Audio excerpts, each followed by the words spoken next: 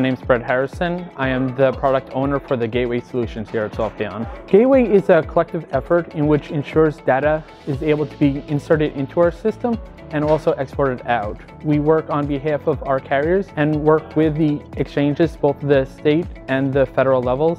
So the functionality within this is being able to accurately send over batch and bulk information to our carriers for their easy processing and understanding. We also allow for, within our Softheon platform, this information to be viewed in user-friendly formats. The Gateway is a wonderful product because it allows us to really control the workflow of the data. It's our job to make sure we get the data into our system to allow other work streams to process.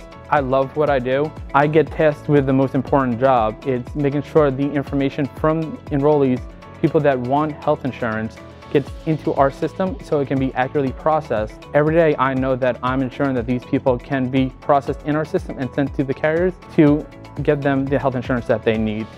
It's my job to ensure it gets accurately and safely sent, and I take great pride in that.